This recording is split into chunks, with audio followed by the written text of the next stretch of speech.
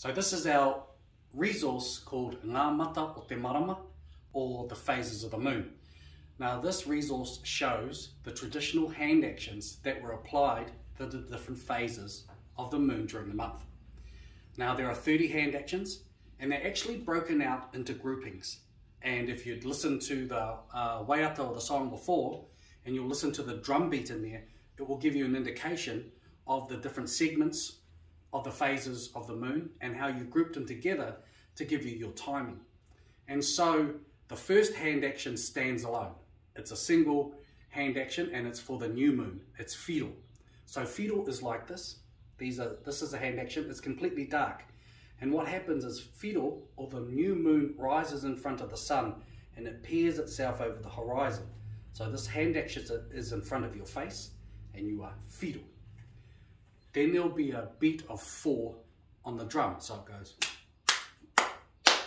And that's uh, the four nights that precede uh, or follow on after Whiro. Tiria, Hoata, Oenuku, and Okoro. Now there's just a little sliver of light, just a little bit of light that will slowly increase across the face of the moon during this period, hence this hand action. So it's Tiria, Hoata, Oenuku, and Okoro. Then you will hear another four beats on the drum. And these four beats uh, denote the phase of, tama, of tamatea. Tamatea uh, in the lunar calendar that I have is four phases. And tamatea, uh, uh, from what I understand, is very associated to the oceans and is actually talks about how the oceans churn themselves inside out and clean themselves out.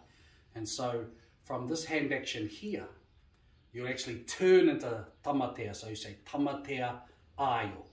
So you'll see inside of your hand, there is just the slither or a kind of a bit of a crescent shape on the moon, tamatea ayo. It's getting bigger, tamatea nana. Then you come to the quarter moon, tamatea kaiariki, tamatea tūhaha. So those are the four phases of tamatea. And you are just past the quarter moon on the last one. Then there are six beats. These six beats run into the six, the next six lunar phases. And they are a period where the lunar phase is not in the best condition or the environment is kind of shutting down. So they are ariroa. Ariroa is a kind of a veil. Ariroa. Then huna, everything hides. Huna. Then for one night it opens up into Māwharu. Then it comes back down again into a big moon, but it's closing on the environment. Ohua, then atua whakahaihai. Atua whakahaihai is like a terrifying demon. It's not the best time. So hence you've got the claws of the demon, atua whakahaihai. Then oturu. Oturu looks like the new moon, but it's uh, full moon, sorry, but it's not completely full.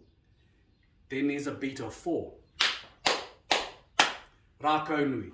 Here it is here. There's Rako Nui because you can see the whole of the tree that Rona is holding on to as she was hauled into the sky by the moon. Rako Nui. Then from here the moon begins to wane and it always goes from left to right as you're looking at it. Rako Matohi. Takiro, the multitudes. Takiro. And oike is that fourth period and that's when you give thanks to the environment for all of the things that you've received across the previous three days. Oike. So you're saying thank you and you're offering back to the environment. Then there's three beats. These are the nights of kore kore. So there's not a lot happening in the environment. Kore kore, tuatahi, kore kore, rawea, kore kore, whakapiri. So there's not a lot happening in the environment and it begins to shut down before it launches into the most productive time of the lunar calendar, according to my calendar system, where we celebrate the Maori gods. The fir there are six uh, nights here. The first four are dedicated to the god of the ocean and water ways, which is Tangaroa, and it's in the last quarter. Tangaroa Āmua, Tangaroa Āroto, Tangaroa Whakapau, Tangaroa Whāriki uh, Kio Kio. And you're actually watching the dark side of the moon come over the light side of the moon. So it's getting uh, past the quarter, into the quarter, getting smaller and smaller. So those are tangaroa. Then otani, otani is like this because it's a tree. Otani, and then oromo. oromo is like this because it's actually the mounds of the gardens, the rows of the gardens where you grow your food. Oromo. Then there are two beats as the lunar calendar shuts down before you get into the next month. And it goes Omutu, so everything's coming together and ending. Mutu Whenua, everything crashes back down into the earth and shuts before you move into the next month and Whiro. Now the beat of the song matches the beat that we have for the lunar months. So many of you will know te tahi o pipiri, te rua o takurua, te toru here o pipiri, te whā o mahuru, te rima o kōpū, te ono o whitia, no, no, we. Whiro, tiria, hoata, o uenuku okoro. So it actually is the same rhythm. So you sing actually the first waiata of the months, and then you go into the beat and sing the waiata for the lunar phases. So uh, as an example, the last end goes, uh, Ngahuru mā tahi o pai ngā whawha te ngahuru mā rua o haki hara tūā.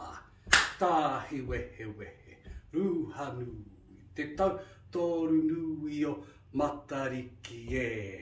Ngā mata o te marama, whiro,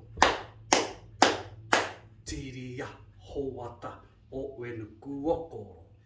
And the beauty about this beat and the rhythm and the hand actions is at the end of the waiata for the months and hand actions, and the waiata for the lunar phases and the hand actions, you'll actually say, so today we are whiro o te tahi o pipiri.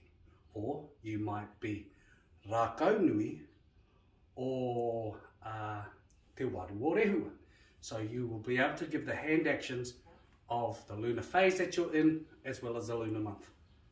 And here is a uh, poster that we have with the different moon phases, the hand actions as uh, they are uh, seen by a person looking at you and also the darker side, that's what you see of the hand actions in front of your face.